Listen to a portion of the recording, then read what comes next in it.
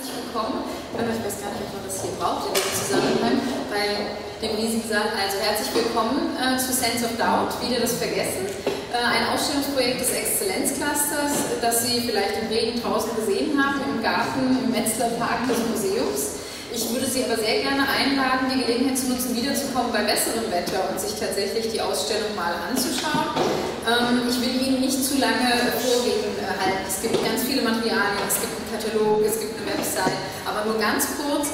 Unser Forschungsverbund und ein, der ein oder andere hier heute äh, ist ja dem eng verbunden, ähm, hat äh, dieses Projekt in den Leben gerufen, um die Meistererzählung der Macht, wie wir sie nennen, die herrschende Narrative in Zweifel zu ziehen und das aus der Sicht all der Disziplinen, die beteiligt sind in unserem Cluster. Also Politikwissenschaft, Philosophie, Religionswissenschaft, Rechtswissenschaft, die ähm, Geschichtswissenschaften, Ethnologie, was habe ich vergessen?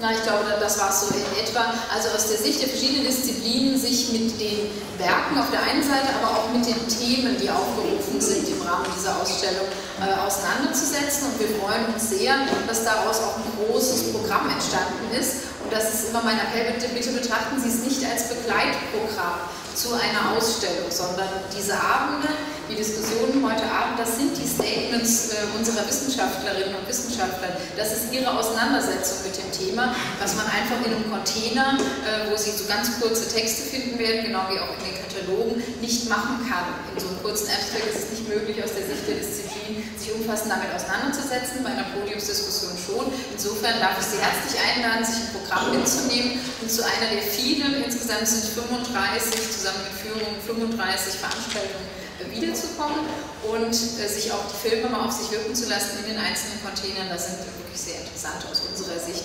äh, Werke dabei. Für heute Abend freue ich mich sehr, dass äh, im Rahmen dieses Sense of Down Projektes äh, die Professorin Nicole Deitelhoff, Professor Christopher Dase und der Filmemacher Marcel Seehuber gekommen sind, um mit Ihnen zu diskutieren über die Inszenierung von Protest und Widerstand. Und wir freuen uns sehr über euren Beitrag und würden uns sehr freuen, wenn Sie in die Diskussion einsteigen. Das ist die Idee des Clusters, bei solchen Formaten in die Stadtgesellschaft zu gehen und mit Ihnen allen in Dialog zu treten und zu diskutieren. Herzlichen Dank fürs Kommen und einen spannenden Abend. Euch vielen Dank.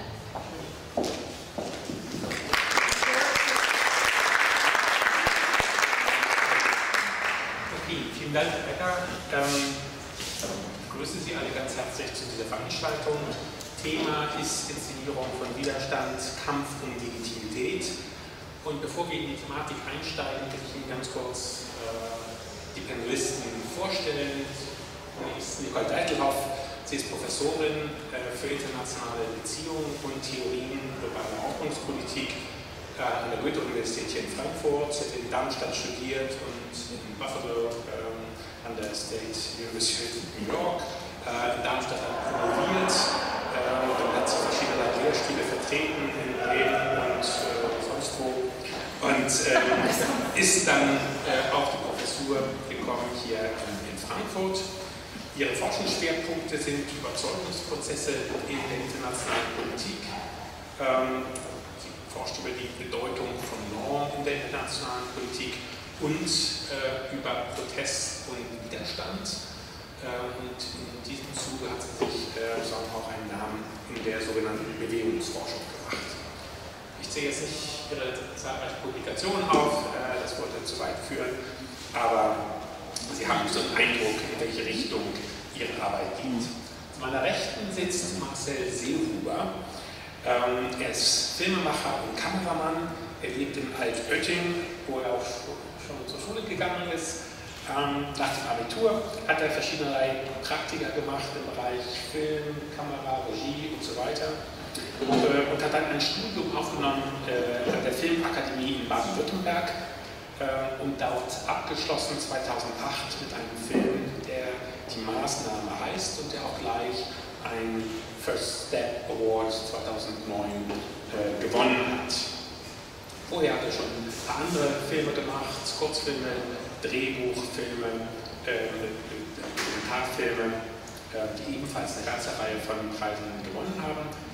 Sein letzter Film, der ist interessant für uns und der ist auch der Grund, warum wir ihn hier eingeladen hat, haben. Der heißt Projekt A und es geht um heutige Formen von Anarchismus und ein Leben gewissermaßen, ein alternatives Leben oder Leben im Widerstand. Und darüber haben sie einen Film gemacht, der sehr interessant ist und über den wir nachher ein bisschen sprechen wollen. Es geht uns ja hier in dieser Veranstaltung darum, wie man Alternativen darstellt, wie man Widerstand darstellt, wie sich Widerstand auch selber inszeniert. Also herzlich willkommen und vielen Dank, äh, dass du gekommen bist. Ich selber bin Christopher Daser, auch ich bin wie Nicole äh, Professor an der Goethe-Universität und Mitglied des Exzellenzclusters äh, Herausbildung normative Ordnung. Ich habe in Hamburg, Freiburg, Berlin und in Harvard studiert. Ähm, war Professor in Canterbury, Brüssel und München, bevor ich nach Frankfurt angekommen bin. Und meine Forschungsschwerpunkte sind internationale Organisationen, äh, Sicherheitspolitik und auch Fragen von Herrschaft und Widerstand. Und das sind letztlich die Punkte, die uns verbinden und die auch Sinn machen, hier in diesem Rahmen thematisiert zu werden. Also Sie sehen, wir sind keine Kulturwissenschaftler, wir sind auch keine Kunsthistoriker, äh, sondern wir sind ein Filmemacher, ein Praktiker sozusagen und zwei Sozialwissenschaftler.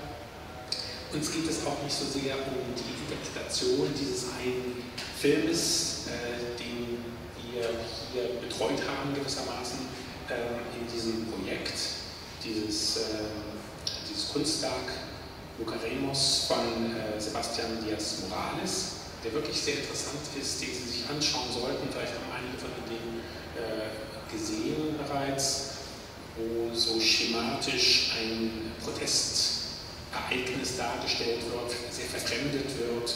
Ähm, sehr interessant. Wir haben aber diesen Film mehr als Auftrag äh, gesehen, generell über die Frage von Inszenierung, von Protest nachzudenken und hier zu diskutieren. Uns geht es also um die grundsätzliche Thematik von Darstellung und Inszenierung von Widerstand und Protest und die Frage, wie die Darstellung äh, dass die gesellschaftliche Wahrnehmung von Protest und Widerstand prägt.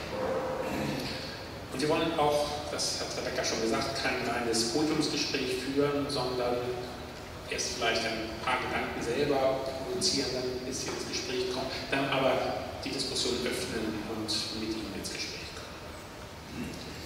Stellen Sie sich also vor, Sie leisten Widerstand und keiner merkt Das wäre schon ziemlich misslich, denn die Ablehnung oder Bekämpfung einer Ordnung oder eines Sachverhalts, den man für ungerechtfertigt hält oder für falsch hält, hat ja nur dann einen politischen Sinn, wenn er wahrgenommen wird. Nicht? Wahrgenommen erstens von dem, gegen den sich dieser Widerstand richtet, gegen den man sich zu Wehr setzt, und zweitens von denen, die auch möglicherweise unter dieser Ordnung leiden oder sie für falsch halten und die man eventuell zur Nachahmung oder zu gemeinsamen Handeln veranlassen möchte. Widerstand also, zumal politischer Widerstand, der sich gegen politische Herrschaft richtet, ist also auf Kommunikation angewiesen. Der Widerstand muss irgendwie mitgeteilt werden. Das ist das Entscheidende. Und es gibt dabei zwei Ziele. Auf der einen Seite muss erstmal der Inhalt transportiert werden meines Widerstands. Also es muss deutlich gemacht werden, warum ich Widerstand halte. Ich muss den Widerstand begründen und rechtfertigen. Aber zweitens kann ich auch natürlich die Emotionen wecken. Ich will andere ansprechen, ich will sie überzeugen, ich will sie aufrütteln, ähm, ich will sie dazu animieren, mitzumachen. Vielleicht will ich auch dem Gegner meine eigene Stärke demonstrieren, meine moralische Überlegenheit. Also das ist diese emotionale Seite von Widerstand. Und ich glaube, das ist der Grund, warum gerade Protest und Widerstand nicht ohne Inszenierung auskommt. Weil er immer sozusagen aus der Position der Schwäche stattfindet und immer auf der Suche nach möglichen Sympathisanten äh, ist, die bereit sind, den Widerstand zu ihrer eigenen Sache zu machen. Nun ist es allerdings nicht so, dass nur die Widerständigen äh, äh, den Protest inszenieren, sondern es sind ja mindestens drei Parteien, wenn Sie so wollen, an der Inszenierung von Widerstand beteiligt nämlich auf der einen Seite genau die, die Widerstand leisten, darüber wird Nicole Deitloff gleich noch mehr sagen. Zweitens die, gegen die Widerstand geleistet wird, also meistens der Staat oder Sicherheitsinstitutionen, Sicherheitsorgane, internationale Organisationen, denken Sie an Proteste gegen äh, die G8 oder so. Und drittens natürlich Beobachter, extern, mehr oder weniger professionelle Beobachter. Und da fallen einem natürlich insbesondere zwei ein.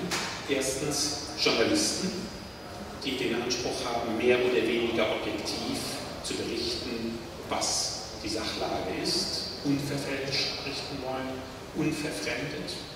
Und auf der anderen Seite die Kunst, die gerade mit Verfremdung arbeitet und zumal wenn sie sich äh, für politische Kunst äh, hält oder so versteht, Partei ergreift. Sie kennen wahrscheinlich den Satz aus der Ästhetik des Widerstands von Peter Weiß, äh, der sagt, dass alle ästhetischen Fragen auch immer politische Fragen sind. Und dann gibt es natürlich zwischen den Mischformen, wenn Sie etwa an den politischen oder gar tendenziösen Journalismus äh, denken, der auch Partei ergreift und äh, sich für eine Sache gewissermaßen äh, gefangen nimmt. Und es gibt natürlich auch die dokumentarische Kunst, die weitgehend auf Verfremdung und Inszenierung verzichtet, aus bestimmten Gründen. Und wir werden das gleich mit Marcel Seehuber diskutieren, wie weit das überhaupt möglich ist und sinnvoll ist.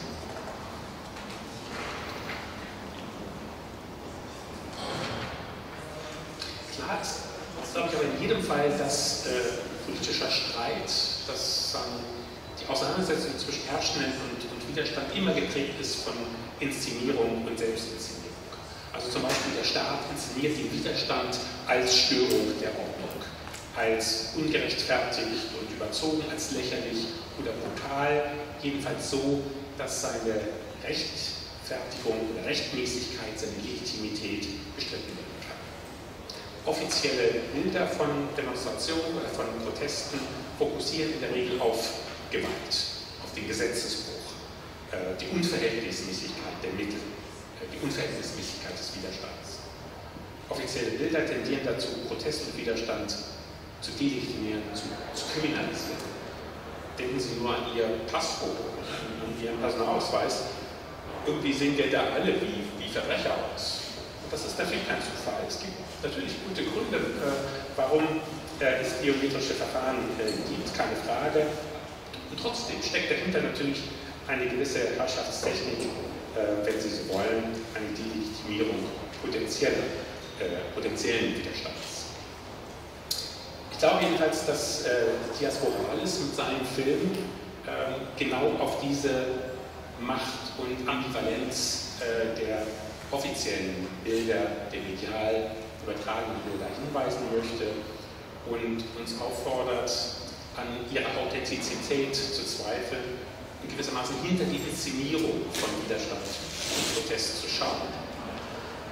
Ich glaube, das führt dann über zu Nicoles Beitrag, nicht nur hinter die Inszenierung von offiziellen, staatlich vertriebenen Bildern, sondern auch der Inszenierung des Protestes selber.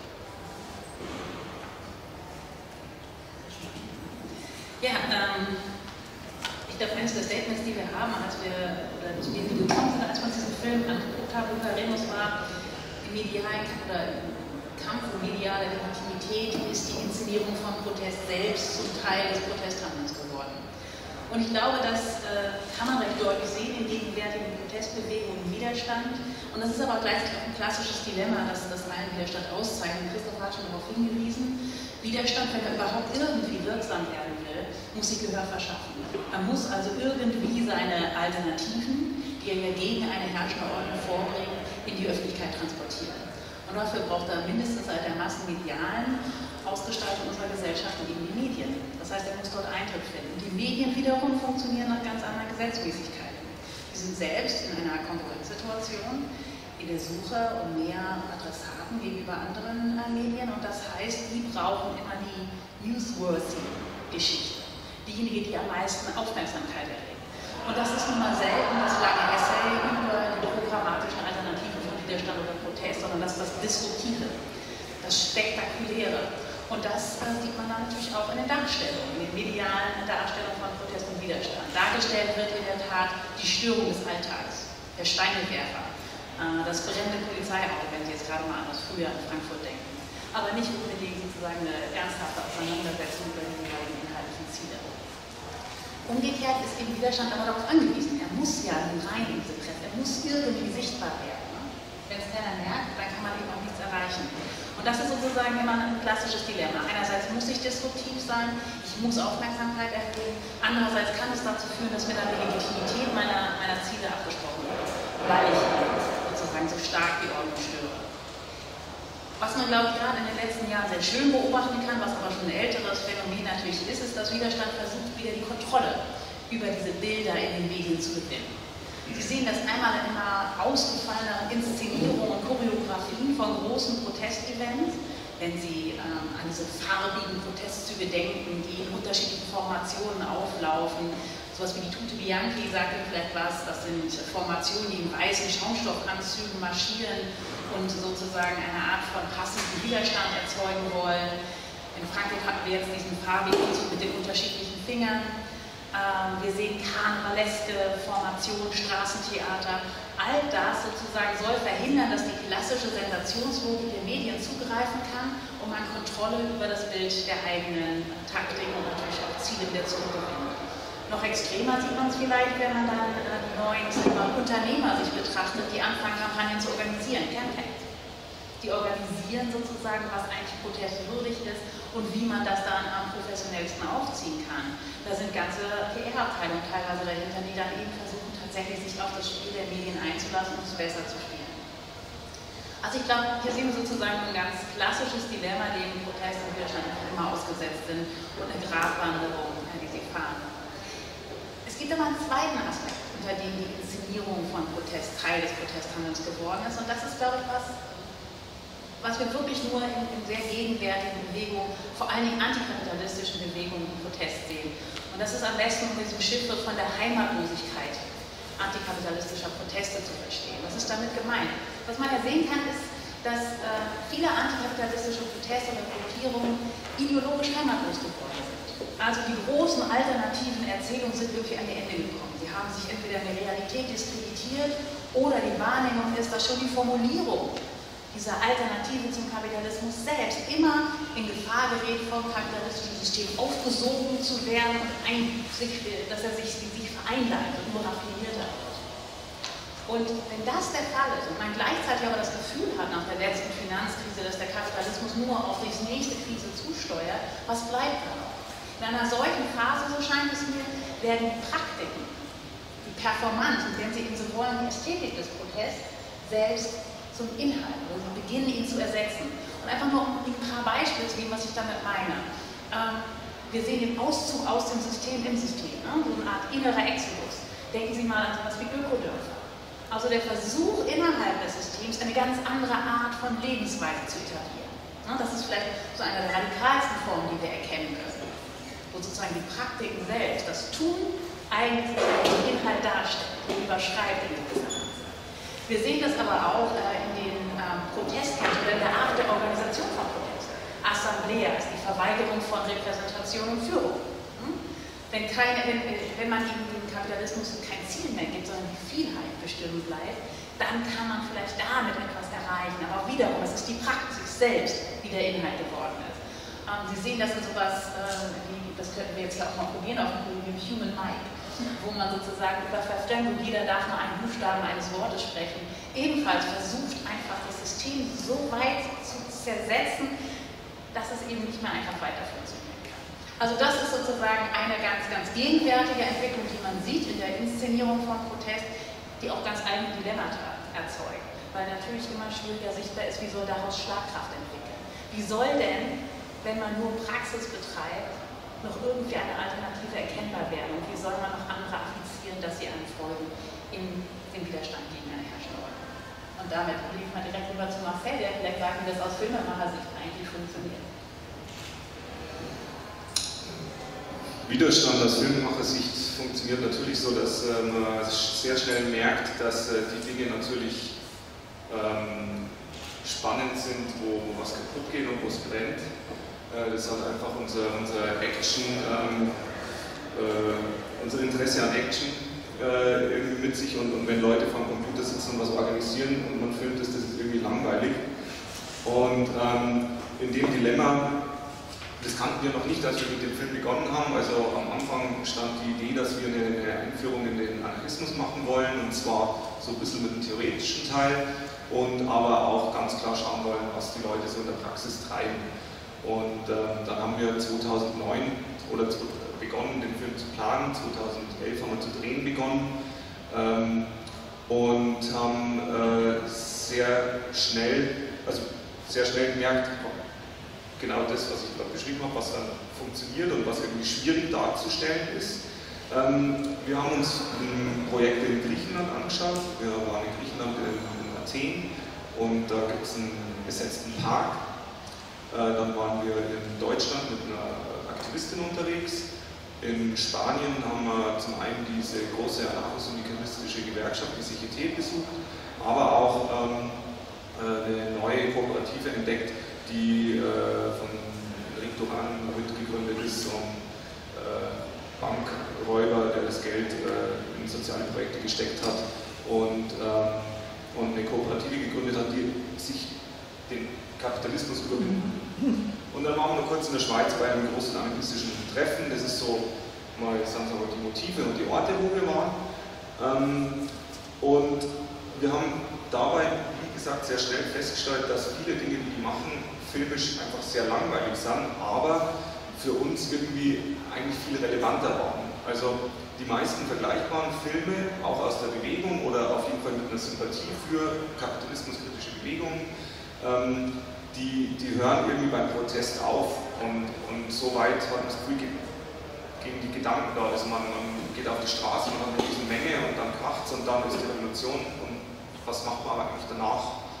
Und das, was man danach macht oder was man jetzt schon macht, um was anders aufzubauen, das hat uns dann ähm, sehr schnell zu interessieren begonnen. Okay, also sind wir zuerst mal nach Griechenland gegangen und die ersten beiden Ausschnitte, die hier sind aus Athen, man muss sich den Stadtteil Exarchia so vorstellen, manche haben darüber vielleicht schon gelesen, äh, Polizei hat es denn schwer, es gibt eigentlich, also es gibt in Exarchia keine Polizeistreifen oder so, Polizei kommt nur äh, mit, ähm, mit ähm, äh, in Mannschaftsstärke eigentlich rein.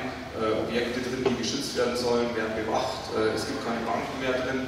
Also eine Mischung aus irgendwie Kreuzberg und Hafenstraße, sehr viele Künstler, aber auch Ausgepublikum und sehr viele Politiker, äh, Politiker sage ich schon, ist Spahn, äh, sehr viel politische äh, radikale Szene. Also ähm, und in Griechenland sind eben seit äh, dem Tod von Alexandros Grigoropoulos ähm, die Anarchisten eigentlich eine junge und sehr große Bewegung und äh, die geben auf jeden Fall dort den Ton an und haben nach diesem Tod des 15-Jährigen ähm, diesen Park besetzt, also einen Parkplatz eigentlich, und haben aus dem Parkplatz einen Park gemacht und in dem Umfeld haben wir uns bewegt. Und ähm, mit dem ersten Ausschnitt würde ich einfach mal loslegen, um so zu zeigen, also was ich mitbringen, was ich hier beitragen muss, dann glaube ich die verschiedenen, ähm, verschiedene äh, Blickwinkel äh, oder Herangehensweisen an äh, und das, wie man dann Widerstand darstellt. Ähm, ich habe jetzt die Ausschnitte natürlich auch nach Action ausgesucht, äh, sprich die ganzen Organisierereien seht ihr im ganzen Film, hier seht ihr jetzt das, was passiert, wenn es irgendwie äh, kracht. Und die erste Szene ist passiert, da waren wir einfach in der Nachbargasse beim Essen und ähm, es hat verbrannt gerochen, es waren zwei Tage Generalstreik, es war Dienstag oder so, Dienstagmittag und dann sind wir die Nachbarstraße rum in Exarchia und dann ist äh, passiert. Zum Generalstreik, auf die, auf die Demo, ist da völlig klar, da wird es krachen. Und ähm, wir haben nicht genau gewusst, was unser Protagonist machen wird, oder besser gesagt zwei, wir waren mit zwei gleichzeitig unterwegs, aber eine war vorne weg. Ähm, und, und sind mit dem dann durch die 80.000 Leute Demo auf dem Sonntag rumgelaufen. Und haben auch dort versucht, uns nicht so zu bewegen wie die normale Presse und auch äh, versucht, andere Bilder zu machen. Ähm, in der Montage im Film ist es aber wieder jetzt, äh, es ist in einen Song eingebettet. Aber schaut euch das am besten selber mal an. Ja, vielleicht kann ich da gleich, äh, gleich einsetzen. Das sind ja zwei sehr unterschiedliche Clips, die wir gesehen haben. Ähm, die erste eher so zurückgenommen, wie du es geschrieben hast, nicht so dokumentarisch. Das ist etwas laut. Wir sollen, wir, wir äh, sollen den Eindruck haben, wir sind dabei, wir gehen vorbei und sehen das. Das zweite ist ja doch sehr viel ästhetisierter, künstlerischer. Ähm, die Frage ist, was ist euer Konzept dahinter?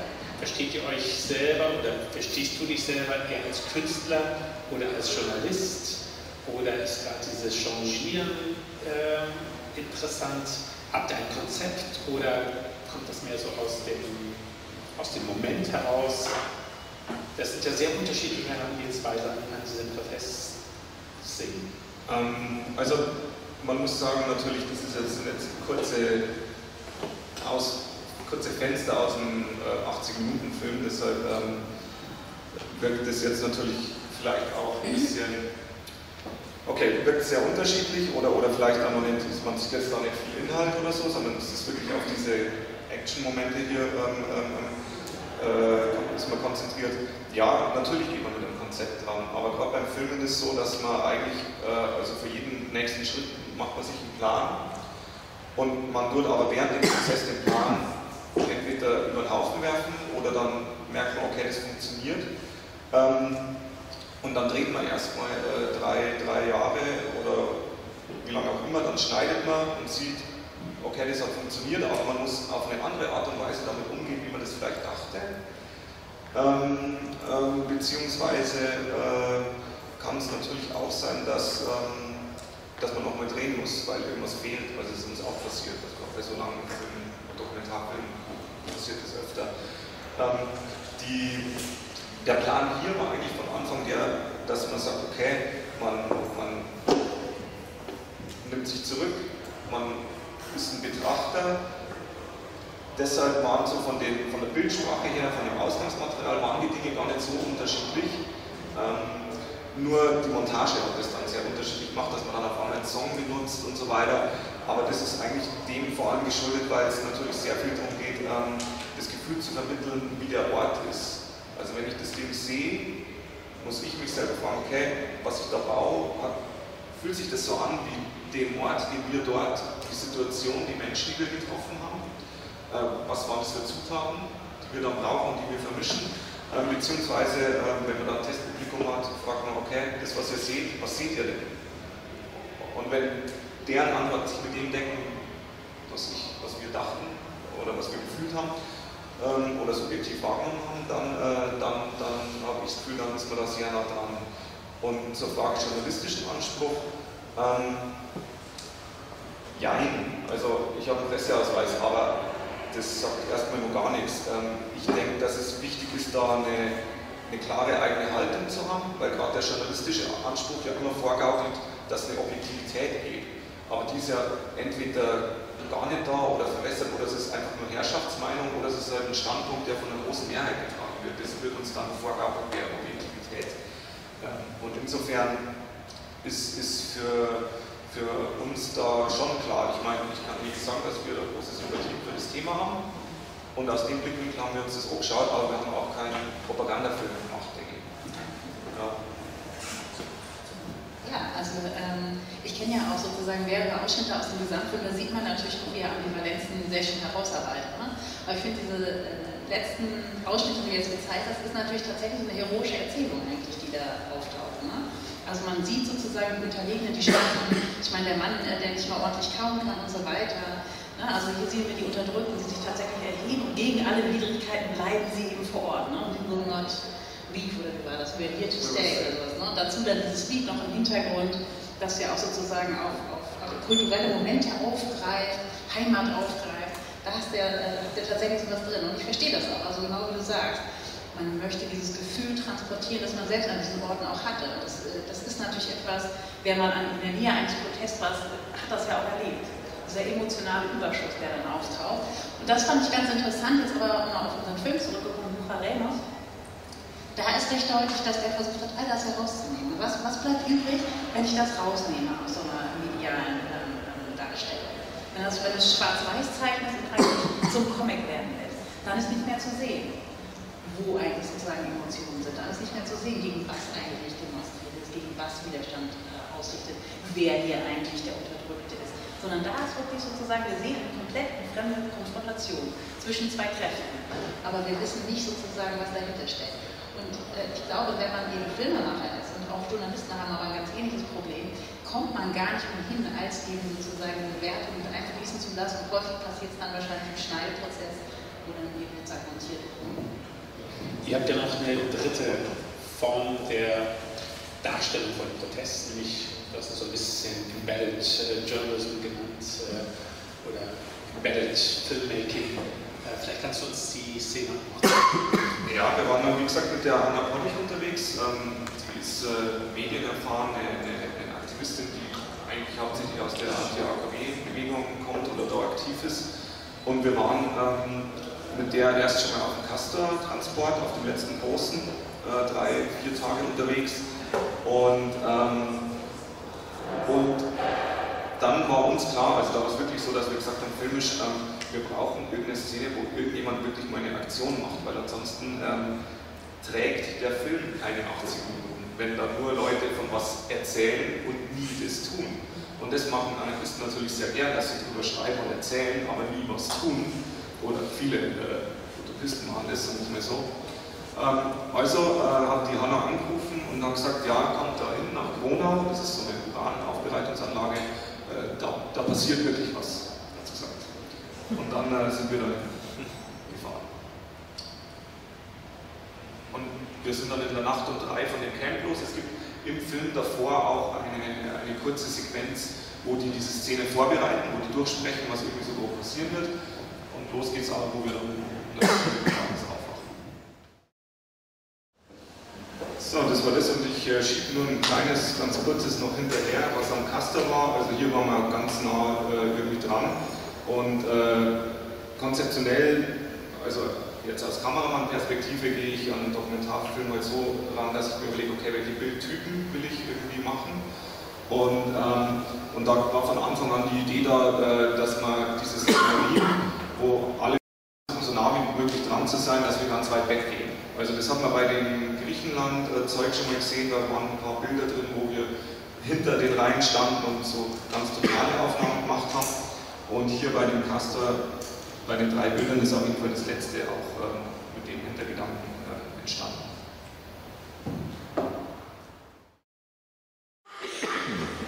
auch, dass das ja ganz starke Wirkung ja. ganz, ganz, ganz offensichtlich. Ähm, du hast äh, gesagt, das vielleicht so als, als letzte Frage hier ein bisschen äh, das Publikum einbeziehen, ähm, sagen, äh, Grundsympathie für die Bewegung. Ähm, wie hat euch das geholfen oder im Weg gestanden? Wie äh, geht man selber damit um, wenn man so einen Film macht? Ich könnte mir vorstellen, dass äh, manchmal gut ist, eine stärkere Distanz zu haben zu den Dingen oder wie ihr das bearbeitet. Fühlt ihr euch selber, wenn ihr zum Beispiel einen Film macht, als Teil des Widerstands sozusagen, ähm, auch als Dokumentarfilmer also eures Couleurs, das ist ja eine bestimmte Art, ihr macht ja keine, keine Hollywood-Streifen ganz offensichtlich, das ist ja auch eine Art von, von Widerstand. Vielleicht kannst du ein bisschen über euer Selbstverständnis. Okay. Ähm, ich denke, das hat wie bei, bei jedem Buch und so sehr viel mit den Personen zu tun. Also den Film habe ich ja mit Moritz äh, Springer zusammen gemacht und wir sind beide jetzt äh, schon so gestrickt, dass wir ein großes Interesse, also vor allem an, an Stohwassers, äh, das Buch von was Stohwasser Anarchie, das war ja auch ein Ausgangspunkt mit vom Film, äh, an einer kritischen Haltung auch der Bewegung gegenüber. Die haben wir beide von Haus aus gehabt und, und, Horst hat die, denke ich, gehabt. Ähm, und, und dann war es halt so, also wir haben das natürlich schon benutzt, ähm, aber jetzt nicht auf eine Art und Weise, dass wir, dass wir versucht haben, Dinge zu kriegen, die wir sonst nicht kriegen, sondern äh, in, Athen war klar, okay, die, die meinen oder, oder manche dort meinten, okay, wir machen so ein typisches Propaganda-Dingens. Das haben sicher da eingedacht, weil da war immer die Frage, ähm, okay, wer seid ihr? Und dann war immer die richtige Antwort, uh, we're a collective. Also du kannst nicht sagen, wir sind ein Filmteam oder wir machen einen Film mit staatlichen Geldern, bla bla bla oder was weiß ich, sondern so immer we're a collective. Und dann war, ah, okay, and who do you know? Okay. Und, ähm, und dann hat man diesen informellen Kreis irgendwie drehen können. Ähm, das war andernorts ganz anders. Hanna, Hanna zum Beispiel ist völlig klar, was wir machen, wie wir arbeiten. Ähm, die hatte auch total Bock drauf, also die nimmt diese Schnipsel und so weiter auch, auch immer gern selber her. Ähm, die, und insofern war unser Selbstverständnis, okay, wie stand es uns im Weg? Wir waren teilweise halt Teil dieser Diskussionen. Also es gab Orte, wo wir nicht drehen durften. Ähm, in Spanien, Kollektiv, da, war, da war ein anderer Filmemacher, der hat ein anderes Copyright-Verständnis gehabt wie wir. Ähm, und dann äh, haben die im Projekt gesagt, wir dürfen nicht drehen. Ähm, also waren wir auch vor Ort dann immer Teil irgendwie von, von, den, auch von den Diskussionen und so weiter. Ähm, und mir, ist, mir persönlich ist wichtig, also ich denke, dass ich nach dem Film sehr viel kritisch, sehr kritischeres Bild oder, oder Blick auf die Bewegung auch habe wie, wie davor, dann muss man offen sein. Ich denke, wenn man da offen ist, dann kann man einen Film machen. Äh, die Filme, wo ich das Gefühl habe, okay, wenn eine Veranstaltung ist und da ist niemand, dann zeige ich heute halt, dass da niemand ist oder meinetwegen lasse es aus dem Film raus oder so. Aber so zu tun, als ob das die total geile Veranstaltung uns war, okay, das machen viele, aber da haben wir auf jeden Fall keinen Bock drauf. Aber dass der Film funktioniert, ist auch offensichtlich. Der hat einen Publikumspreis schon äh, äh, gewonnen bei, glaub, beim ersten äh, Festival und geht jetzt eigentlich erst auf Tour. Ähm, mal sehen, was er noch abkommt. ähm, aber jetzt wollen wir die Diskussion ein bisschen öffnen. Ähm, wer mag von Ihnen das Wort rein? Ich hätte eine Frage. Es gab jetzt einige Fragen an den Filmemacher, wie ihr zum Protest steht. Und ich würde gerne die gleiche Frage an die Wissenschaftlerinnen und den Wissenschaftler stellen, wie die wissenschaftliche Behandlung oder ihre zumindest sich zum Protest verhält. Moment, hier hat eine.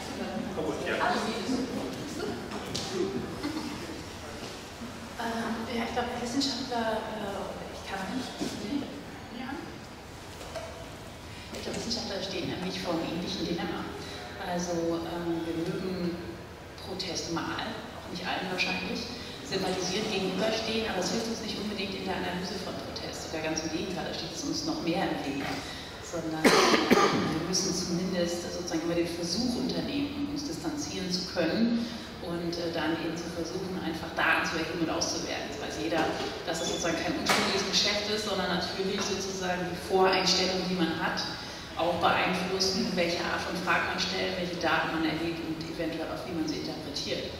Das heißt, ähm, wir sind uns bewusst, dass wir unsere Voreinstellungen nicht komplett loswerden, aber ähm, wir tun unser Bestes, um die Illusion für uns und andere aufrechtzuerhalten.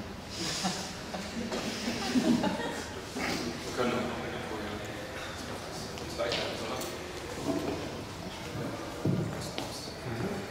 Vielen Dank für die interessanten Beiträge. Ich habe noch eine Frage Seehuber. Ähm, du hast ja eben gesagt, dass so wie das wahrgenommen wird, ganz stark von der Inszenierung auch durch die Medienmacher ähm, geprägt wird, also Schnitt, Einstellung und so weiter.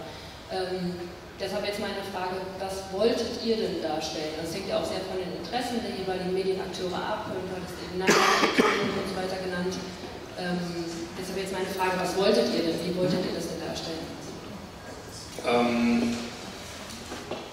Also uns geht es eigentlich vor allem um, um, um das, was, was nach dem Protest passieren soll. Also ähm, diese, diese Ausschnitte jetzt sind eigentlich nur so ein kleiner Aufhänger im Film und sind natürlich eine, eine, ähm, ein Teil, wo, wo das Leben der, der Protagonisten stattfindet, also gerade jetzt auf Griechenland gemünzt. Ähm, aber äh, es geht eigentlich äh, den Anarchisten, die dann entweder in großen Versuchen äh, wirklich äh, gesellschaftliche Strukturen aufzubauen, genauso wie im Kleinen zu versuchen, einen Zug zu blockieren, äh, deren Tätigkeiten und deren Handlungen schauen ganz anders aus, wie das, was uns medial vom Protest äh, ähm, ähm, erzählt, äh, gezeigt wird, nämlich dass das halt eine Demonstration ist. Also bei uns ist es halt schon so, denke ich, dass, äh, dass viele denken, okay, wenn ich Widerstand machen will, dann gehe ich auf eine Demo und wenn ich ganz krass bin, dann schmeiße ich einen Storch. Aber eigentlich im Film wird man sehen, dass, ähm, dass, äh, dass das, was, was die Leute wirklich tun, ganz andere Handlungen sind.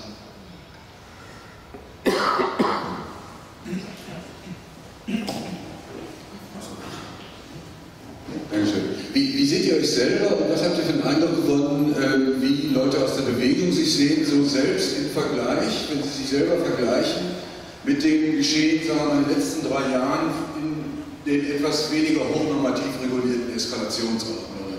Also Stichwort von Benghazi bis zum Donbass. Stichwort Puppenstube. Äh, Fragen. Ähm, da wird die Antwort wahrscheinlich schwammig. Wie sehen die Leute sich selbst? Ähm,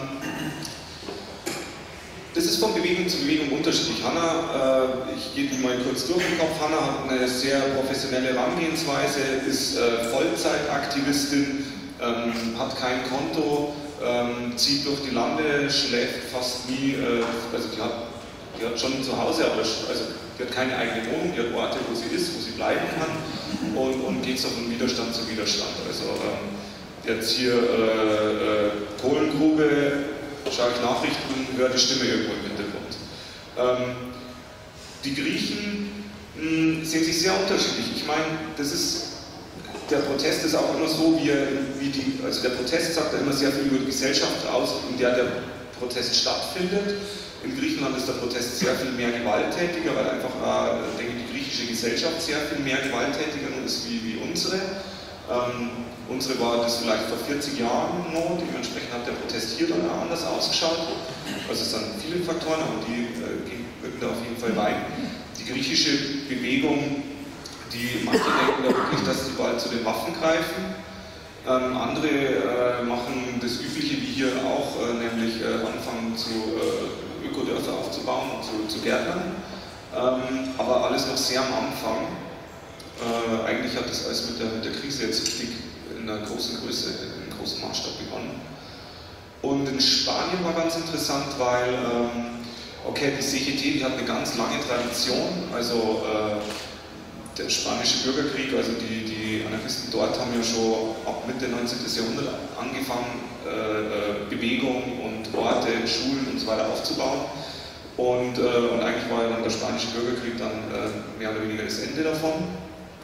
Nichtsdestotrotz blicken diese anarchistischen Gewerkschaften mit ihren in Spanien 60.000 Mitgliedern auf so eine lange Tradition zurück, ähm, wirken aber irgendwie auch ein bisschen verstaubt, auch wenn die mit Sicherheit ganz coole gewerkschaftliche Arbeit waren. Äh, und das ist auch ein Grund, warum es dann bei den Jüngern, die landen dann eher in so Hausbesetzer-Szenen oder, oder eben bei dieser Kooperativa von, von Enrique Duran und diesem Umfeld aus der ähm, 15M, 15M-Bewegung. Hat das grob das beantwortet? Ja, Keine Ahnung, nach Ansätzen. Ich bin nicht ganz sicher, ob Sie darauf anspielen, aber wenn Sie ähm, damit sagen wollen, sozusagen der Protest ist die Puppenstube und was wir in Benghazi und Donbass sehen, das ist sozusagen ähm, real thing, ähm, dann scheint mir es eine Frage danach zu sein, ob nicht sozusagen Inszenierung ohnehin äh, ähm, sozusagen im realen Leben eine sehr große Rolle spielt, nämlich im gewaltsamen Konflikt. Natürlich ist es so. Das wissen wir auch, das ist ja auch nichts Neues. Das ist auch nicht irgendwie was, was wir erst in gegenwärtigen Kriegen, Bürgerkriegen oder internationalen Kriegen, das heißt zwischen staatlichen oder superstaatlichen Kriegen erleben, sondern äh, auch schon in den Weltkriegen sehr schön beobachten können, wie sozusagen auch da die Frage, wer die mediale Lufthoheit sozusagen äh, erobert hat, auch ganz wesentliche Punkte auf allen anderen Schlachtfeldern machen konnte. Ähm, ist das was ähnliches? Ja, das ist was ähnliches. Aber äh, gerade beim Protest ist natürlich sozusagen immer der Versuch, dann nicht in den gewaltsamen Widerstand zu rutschen oder auch hineingedrängt äh, zu werden. Weil man natürlich sozusagen an einer ähm, zivilen Auseinandersetzung im System noch interessiert ist. Man möchte ja sozusagen für Alternativen kämpfen, man möchte ja Unterstützer gewinnen.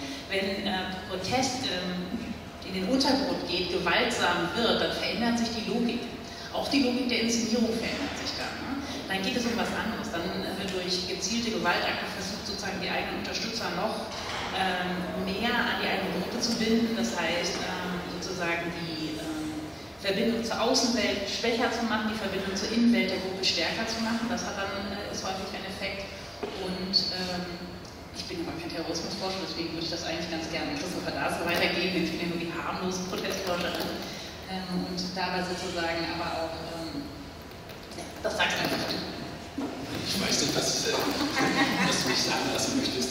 Ähm, aber Welchen Effekt wir gewaltsamen Anträge haben? Auf, auf die Gruppe.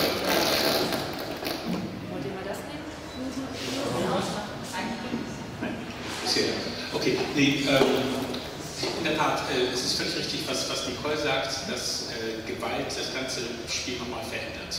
Ähm, sowohl für Gruppe, die äh, gewalttätig wird, wie für das Umfeld, für das, was man zum Gesamten äh, nennt oder Constituency oder wie auch immer, ähm, wie natürlich auch für, für den ähm, dann entstehen ganz, ganz neue Dynamiken und ähm, es ist, eine, ja, wie du sagst, ein anderes Spiel, eine ganz andere Dynamik. Und äh, ja, man muss, muss vielleicht auch äh, nochmal äh, unterscheiden, natürlich wo, in was für einem gesellschaftlichen und politischen Umfeld äh, äh Demonstration, äh, Widerstand geleistet wird. Nicht in einem liberalen, demokratischen Staat, der sehr viel elastischer auf solche Dinge reagiert, als in einer Autokratie, wo sofort Gegengewalt angewendet wird. Nicht? Kosten in so einer Situation sind für die einzelnen Demonstrierenden und für die einzelnen Demonstrierenden viel höher, der Einsatz viel, viel, äh, viel höher. Äh, auf der anderen Seite müssen ganz andere Register gezogen werden ähm, in einer Demokratie, um überhaupt eine Reaktion zu erhalten. Also von daher kann der Anreiz äh, zu spektakulären, auch gewalttätigen, aber auch zu anderen Aktionen relativ hoch sein, gerade in liberalen Gesellschaften, um überhaupt äh, wahrgenommen zu werden. Also diese Dynamik ist ausgesprochen interessant für eine Gesellschaft oder wie ein Gegner oder ein Staat auf Demonstrationen und auf Widerstand reagiert. Ähm, was mir noch generell zu der Thematik von, der, von dem einfällt, was man als Filmemacher immer mitdenkt, ein kleiner Sprung, ist das, dass man vor allem auch mitdenken muss, ähm, dass das Publikum den Film aus einer total eigenen Perspektive betrachtet. Also ich kann die gleichen Bilder ähm, einem unterschiedlichen Publikum zeigen und die werden die Dinge, die sie sehen, völlig unterschiedlich bewerten. Ähm, und das ist was, was man, was man oft gern dann vergisst dabei. Selbst wenn ich mit Musik oder mit ähm, Kontext noch versucht, es in eine Richtung zu, zu drängen. Und das macht man natürlich als Filmemacher also automatisch im Schnitt.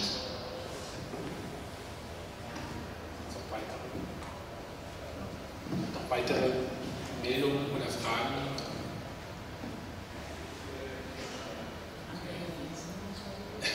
Insbesondere, Nein. Eine Nachfrage. Ja, bitte. Also das brennende Feuerwehrauto, wo ist da die Grenze zur Sprengfalle? Ja. Ich denke, dass die, dass die griechischen Anarchisten, ähm, also fast alle, also 99 Prozent, keine Lust haben, jemanden ernsthaft zu töten. Ähm, aber, äh, aber es gibt in Griechenland bewaffneten Widerstand. Also ähm, es, gibt, äh, es gibt Sprengstoffattentate, aber nicht nur von Anarchisten, sondern von, von unterschiedlicher Seite. Das war das, was ich meinte mit, das ist dieses Gewaltlevel in einer Gesellschaft, das dann herrscht. Also die ganzen griechischen Protagonisten oder Aktivisten, die wir getroffen haben, die jetzt zum Mai-Alter haben, äh, die sind alle noch krass von ihren Eltern verprügelt worden. Also dass man dort zu einer Gewaltlösung äh, auf der Straße oder überhaupt in Konflikten tendiert, ist einfach da, also da wird einfach viel schneller zugehauen, dann wird viel schneller ein Molly geschmissen und, ähm, und es ist auch noch länger möglich. Also du kannst diese Straßenschlachtspielchen in Griechenland viel länger treiben, wahrscheinlich wie in Berlin, ohne, ohne erwischt zu werden. Ähm, und da ist natürlich, okay, sehr viel Mut äh, im, im, Bauch und du hast natürlich eine völlig andere Polizei auch in, in Griechenland, die äh, einfach äh, extrem rechts besetzt ist. Also der ganze Polizeiapparat, die normalen Polizisten sind sehr, sie kämen aus einer Ecke der Gesellschaft, so. Und äh, da schaukelt es natürlich extrem hoch. Du hast viele Fälle von Folter in, in Griechenland äh, an Flüchtlingen, an Aktivisten und ähm, Marcus, den man kurz gesehen hat, der war, also der, der sammelt auch wieder für seine zweite Verhandlung, wo er nichts gemacht hat, der ist mit Elektroschocks gefoltert worden. Also und das sind äh, Erlebnisse, die, die einfach ganz viele dort berichten.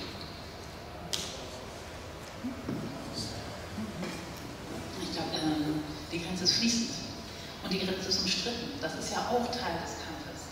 Und noch dazu ist es natürlich auch nicht so, dass der Protest oder der Widerstand da eine Strategie hätte oder eine Sichtweise, sondern auch innerhalb der Bewegung wird darum gestritten, was ist möglich, was ist legitim, was wollen wir. Und äh, das kann man auch mal sehr schön beobachten, wenn auch Organisationskomitees jetzt teilweise eben diese, hat ja gerade die großen Choreografien und so weiter vornehmen, können die aber nicht kontrollieren, was an allen Ecken und Enden passiert. Und dabei kommt es eben zu ganz unterschiedlichen Aktionen, die unterschiedlich bewertet werden, wie zu Streit innerhalb einer Bewegung, außerhalb der Bewegung und natürlich auch sozusagen im Konflikt dann mit den Sicherheitskräften führen. Aber die Grenze per se ist erstmal schlicht und einfach fließend.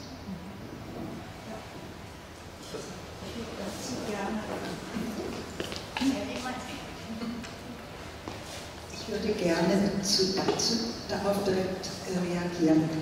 Ähm, ich kann vielleicht sagen, dass ich selbst auch Politaktivistin bin und Künstlerin und das sehr wertschätze, was ich heute von vorgetragen bekomme, auch den Film. Äh, aber es kommt mir doch der Verdacht hoch, äh, dass, äh, worum es eigentlich geht, gar nicht darstellbar ist. Und äh, das ist ja schon angesprochen worden und es wird immer klarer, was eigentlich so ein Film auch alles verheimlicht, was nicht zutage kommt. Und darum waren mir Ihre letzten Worte sehr wichtig. Also die Gruppen haben ja einen Vorschlag, also eine, eine Demonstration die hat ja ein unglaubliches Vorspiel an Meetings, an Treffen, an Diskussionen, an außer aus der Antrag muss gestellt werden. Es gibt Auflagen in 20, 30, 40 Seiten Länge. Dann muss versucht werden, immer auch die Aktivisten am Köpfchen zu halten. Also immer wieder Veranstaltungen, immer wieder Projekte, auch Kunstprojekte, soziale Projekte, also alles, was auch anfällt heute mit äh, Tauchen in Tonnen und, und, und. Da läuft ganz viel. Und dann ist eigentlich die Planung, wie eine Demo aussieht, was ihre Inhalte sind, wie sie sich darstellt, ist ein Teilaspekt. Vieles passiert auch im Internet ist gar nicht dann öffentlich sichtbar, aber sehr wichtig ist dieses in die Öffentlichkeit eintauchen, die, die Plätze, die Straßen zu besetzen, da aufzutauchen, sichtbar zu werden. Ja? Und da zählt jeder. Also wir haben damals bei Blockupy gedacht, wenn wir weniger als 10.000 Leute auf die Straße bringen, haben wir ein schlechte Arbeit geleistet. Wir waren viel, viel mehr. Ja. Äh, das, so, das, und dann ist praktisch so ein kleiner Ausschnitt, wo man Auto kennt, nochmal ein winziger Ausschnitt, ja, und äh, dann verheimlicht der Film oder auch die Diskussion, was hinterher passiert.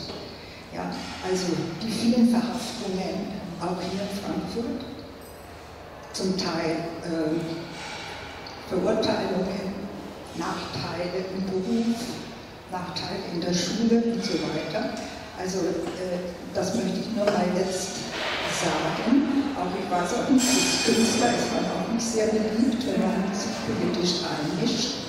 Und das sage ich ganz ernsthaft. Deswegen fand ich die Frage an Sie beide auch wichtig, weil Widerstand, wenn der nur auf der Straße passiert, es muss überall passieren, auch wenn man es nicht sieht.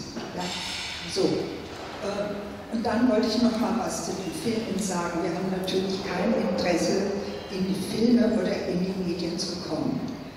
Es ist einfach eine Frage, weil die Polizei Bilder und so weiter alles auswählt. Und das ist keine neue Geschichte. Das war mit der Vendôme-Säule, das kennen Sie wahrscheinlich alle.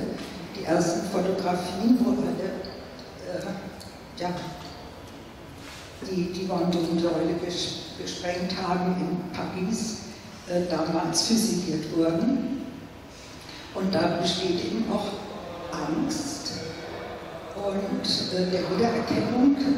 Die Filme, wir waren auch schon öfter bei Verhandlungen, Filme werden auch benutzt vom Staatsanwalt zur Wiedererkennung und so weiter.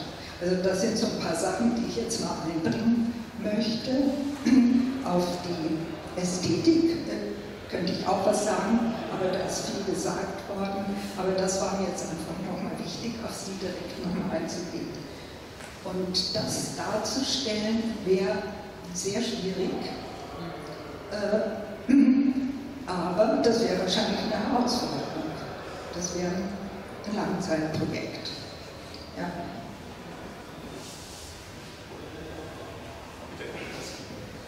Ähm, ein Kommentar Erklärung, warum es zur Eskalation in Griechenland äh, zu so einem ausschlagenden Maß kommt, ist, ich tue mich ein bisschen schwer mit der Erklärung, dass es an einer sozusagen einer Gesellschaft an sich liegt. Also die Erklärung, die du nachher geliefert hast, wäre viel plausibler. Also dass es um eine Interaktion geht, auch mit der Polizei, die durchaus eher rechts und konservativ geprägt ist. Und ich würde eigentlich gerne mehr in die Richtung gehören, weil ich, mein, meine Einschätzung ist, dass es dort, dass es viel mehr damit zu tun hat, A, mit dem, was vorher passiert ist in der Protestlandschaft und mit dem, was dagegen in den Gegenbewegungen und auch gegen Demonstrationen stattgefunden hat, rechten Demonstrationen zum Beispiel. Ähm, in dieser Aktion und auch natürlich in der sozial-ökonomischen äh, Situation, in der sich Griechenland befindet und das ein bisschen wegnehmen davon, dass es etwas mit dem griechischen Charakter an sich zu tun hätte. Naja, du sagst ja schon, du würdest es gern hören, aber wenn du halt runtergehst und dir das anschaust, dann ist halt das, was man sich gern so anliest oder wie, oder wie man es gern hat, stellt sich halt irgendwie anders dar. Auf jeden Fall mir. Ähm, die, äh, die Art und Weise, wie, wie in Griechenland eine Demo abläuft, ist, ist, ähnlich wie hier sehr ritualisiert, also von Seiten der Polizei wie auch von Seiten der Demonstranten. Und, ähm, und, äh, und ist ja auch schon vor den, ähm, also bevor die Rechten jetzt stark wurden und so weiter, sind ja die, die Demonstrationen schon so gelaufen oder, oder auch in Genua war es klar, dass, äh, also hat es ja unter den Demonstranten sehr viele Streitereien gegeben, weil die Griechen, die äh, Mollys in Häuser geschmissen haben, in Bankhäuser, in Banken geschmissen haben, wo drüber ähm, Menschen gewohnt haben.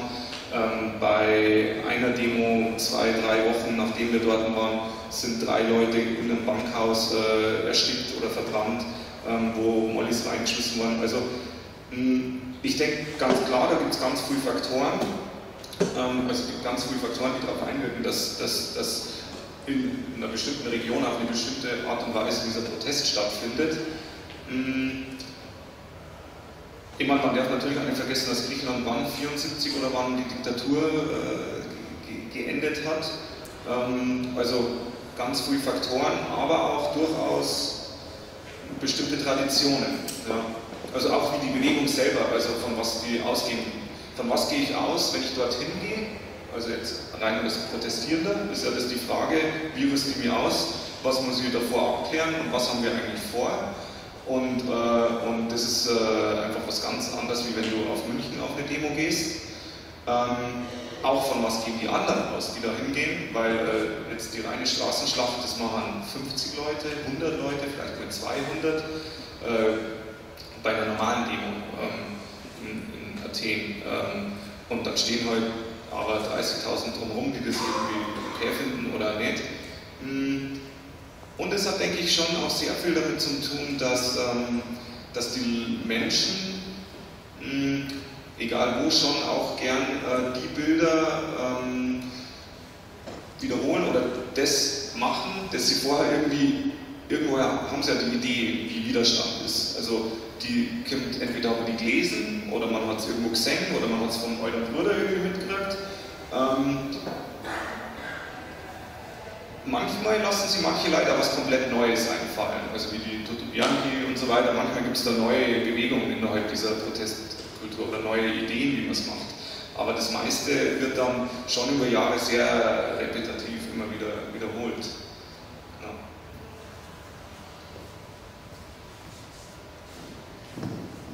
dann stellt sich natürlich auch die Frage, was kann man darstellen? Natürlich, die ganzen komplexen Zusammenhänge äh, sind sicher da und Sie haben ja äh, das sehr, sehr deutlich gemacht.